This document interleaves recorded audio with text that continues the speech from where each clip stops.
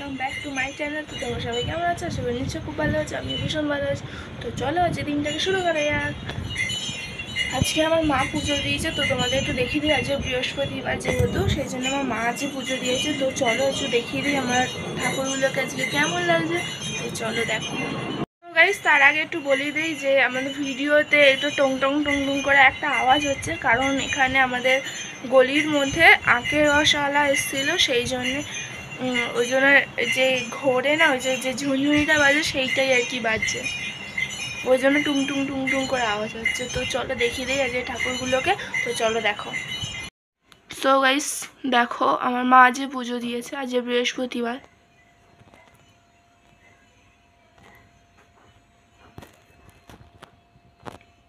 So guys তোমরা দেখে নিলে যে আজকে আমার মা পুজো দিয়েছে, আজকে আমার ঠাকুরগুলোকে কেমন লাগছে, তো তোমরা দেখে নিলে আজকে ব্রেকফাস্টে কি কি করি তোমাদের দেখাচ্ছি। তো চলো এখনও কোনো ব্রেকফাস্ট রেডি হয়নি, তো রেডি হওয়ার পর তোমাদের দেখাচ্ছি। তো চলো দেখো। সো গাইস আর একটা কথা তোমাদের বলি, তো আজকে আমাদের লাঞ্চে একটা অন্য রকম মেনু হবে। কি মেনু হবে তোমাদের একটু দেখিয়ে দিচ্ছি। কাঁচা অবস্থায় তোমাদের দেখিয়ে দিচ্ছি। রান্না করার সময় তোমাদের রেসিপিটাও শেয়ার করে দেবো। তো চলো দেখো আজকে মানে নতুন একটা কি মেনু হচ্ছে। তো চলো দেখো। সো গাইস দেখো আজকে এই মানে নতুনত্ব এই মেনুটা ট্রাই করা হবে। তো তোমরা অনেকেই এই জিনিসটাকে চেনো, আবার অনেকেই চেনো না। আমি তাও যাদের, যারা আর কি চেনো না, তাদের জন্য বলে দিচ্ছি। এটা হলো কচু গাছের ফুল। তো এই ফুল দিয়ে একটা মেনু হবে। তো গাইস আমাদের ব্রেকফাস্ট রেডি হয়ে গেছে। তো কি ব্রেকফাস্ট হয়েছে? স্পেশাল একটা ব্রেকফাস্ট তো চলো দেখো কি ব্রেকফাস্ট হয়েছে। তো গাইস এখানে দেখো, মা আজকে সকালের ব্রেকফাস্ট মোগলাই বানিয়েছে। তো গাইস এখানে দেখো মায়ের কচুর ফুল কাটা হয়ে গেছে। তো কীভাবে কেটেছে তোমাদের কি জানাইনি, আমি মুখে বলে দিচ্ছি। সো গাইস এটা কীভাবে কাটে? ওটা হলো এই যে মোটা যে অংশটা থাকে ফুলের নিচের দিকটায়, এটাকে মানে ফেলে দিতে হয়। আর ফুলের ভেতরে এরকম একটা সরু টাইপের ফুল থাকে, সেটাকেও ফেলে দিতে হয়। আর মানে যে ডাঁটাটা থাকে, সেটাকে ছোট ছোট করে মা কেটে নিয়েছে এই যে। সো গাইস এখানে দেখো মা ওই কচুর ফুলটাকে মানে কড়াই বসিয়ে দিয়েছে নুন, হলুদ দিয়ে। তো গাইস তোমাদের একটু আগেই দেখালাম যে এই কচুর ফুলটা সেদ্ধ হচ্ছিল, তো সেদ্ধ হয়ে গেছে। এখন কড়ায় ইয়ে পেঁয়াজ দেওয়া হয়েছে, রসুন দেওয়া হয়েছে, আর কাঁচা লঙ্কা দেওয়া হয়েছে। এখন মা ওই কচুর ফুলটা ঢেলে দেবে।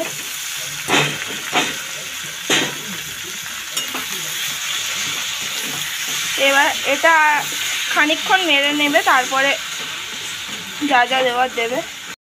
গাইস এটাকে নাড়া হয়ে গেছে, এখন মা ইয়ে দিল, নুন দিল, এবার অল্প চিনি দেবে। বাঙালিদের জানো তো, চিনি ছাড়া চলে না। একটু লঙ্কারগুলো দিল। ব্যাস, এটাকে এবার নাড়া হবে। খুবই সহজ রান্না একটা। সো গাইস তোমরা দেখতে পেলে যে মা মানে কচুর ফুলটা মানে রান্না হয়ে গেল, তো কীভাবে করল তোমাদের দেখিয়ে দিয়েছি। তো আশা করি তোমরা বাড়িতে ট্রাই করবে, তো ট্রাই করে দেখতে পারো, খুবই ভালো খেতে হয়। একবার ট্রাই করতে পারো। তো চলো ব্লগটা দেখতে থাকো, আর কি কি হয়, আর কি কি হয়, কি কি না হয়, তোমরা দেখতে পাবো অবশ্যই। তো চলো দেখতে থাকো। সো গাইস আমাদের লাঞ্চ টাইম হয়ে গেছে, তো আমাদের লাঞ্চ আজকে হচ্ছে এটা তোমাদের দেখিয়েছিলাম, মা রান্না করেছিল, তোমাদের সাথে রেসিপিটাও শেয়ার করেছি। তো এটা হলো কচুর ফুল, এখানে আছে লেবু আছে, ভাত তো আছেই, এখানে আছে ডিমের কারি, এটা হলো ডাল, এটা হলো বেগুনি। তো গাইস এখন সন্ধে হয়ে গেছে, প্রায় অলমোস্ট সন্ধে হয়ে এসছে। তো এখন আমাদের মুরগিগুলোকে ছাড়া হয়েছে। তো ছাড়ার পরে মানে তোমাদের দেখাইনি আর। আমাদের বড় যে মোরগটা আছে, আমাকে কামড়াতে আসছিল। আমাকে একবার কামড়েওছে। তো এখন কামড়াতে আসছিল। লাঠি ছিল বলে হাতে, নাহলে কামড়াতে পারিনি। ওই জন্য লাঠির ভয় দেখিয়েছিলাম, নাহলে সত্যিই কামড়াতো আজকে। তো দেখিয়ে দিচ্ছি চলো আমাদের মুরগিগুলো এখন কি করছে। সো দেখো সব ঘুরে ঘুরে বেড়াচ্ছে। আর একজন ওখানে শোলা খাচ্ছে। এই যে আমার কালু বসে। সো গাইস আজকে স্ন্যাক্সের একটা অন্যরকম মানে ডিশ হচ্ছে, তো সেগুলো আমি দেখাবো। আগে তৈরি হয়ে যাক, তারপর তোমাদের দেখাবো। সো গাইস এখানে দেখো, মা আজকের স্ন্যাক্স হলো, এটা হলো কলার বড়া। তোমরা কে কে কলার বড়া খেতে পছন্দ করো, সেটা তারা আমাকে কমেন্টে জানাবে কিন্তু অবশ্যই। সো গাইস তোমাদের দেখিয়ে দিলাম যে যে স্ন্যাক্সে কলার বড়া হয়েছে। তো তোমাদের যেমনটা বললাম, কলার বড়া কে কে খেতে পছন্দ করো তারা আমাকে কমেন্টে জানাবে। আর আমার বাবা খেয়ে, কলার বড়া খেয়ে, চা খেয়ে তো বেরিয়ে গেছে, এখন বাজারে গেছে। তো এখন আমাদের ডিনার ডিনারের প্রিপারেশন চলছে। তো গাইস এখানে দেখো মা এখন রুটি করবে মনে হয়।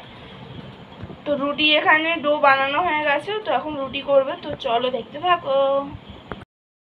তোমাদের বলেছিলাম যে মা এখানে রুটি করবে, কিন্তু রুটি করছে না। এটা পরো- মানে পরোটা টাইপের একটা জিনিস করছে। তো একটু আগে আমি আলু কুমড়ো তরকারির জন্যে সবজিগুলো কেটে নিয়েছি। কেটে ধোয়াও হয়ে গেছে। এখন মা পরোটা বানাচ্ছে। তো গাইস আমাদের ডিনার টাইম হয়ে গেছে। তো ডিনারে আজকে হচ্ছে মনে আছে পরোটা, এটা হলো আলু কুমড়োর তরকারি।